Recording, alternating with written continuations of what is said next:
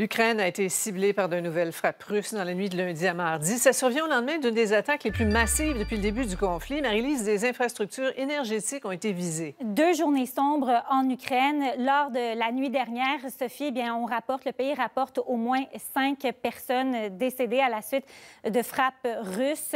Plusieurs villes, et vous allez le voir sur les images, un hôtel ont été ciblés. Hier, c'est plus de 200 missiles euh, qui euh, ont ciblé également l'Ukraine. Des infrastructures énergétiques, ça fait partie de la stratégie de la Russie. La situation devient de plus en plus critique. La production d'électricité en Ukraine a chuté de moitié et on se demande comment est-ce que les Ukrainiens vont pouvoir survivre euh, l'hiver prochain. parce que lorsque des coupures d'électricité, ben, ça affecte évidemment le chauffage, mais aussi l'accès à l'eau potable. Et ce qu'il faut également garder en tête, depuis trois semaines, offensive ukrainienne en territoire russe dans la région de Kursk. D'ailleurs, bien l'armée ukrainienne dit avoir euh, obtenu de nouvelles percées dans ces territoires.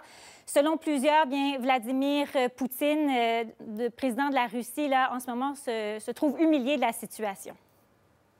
C'est le début, je dirais, euh, d'une phase de précipitation de la guerre par Poutine pour véritablement laver l'humiliation et rassurer ses alliés et rassurer son peuple.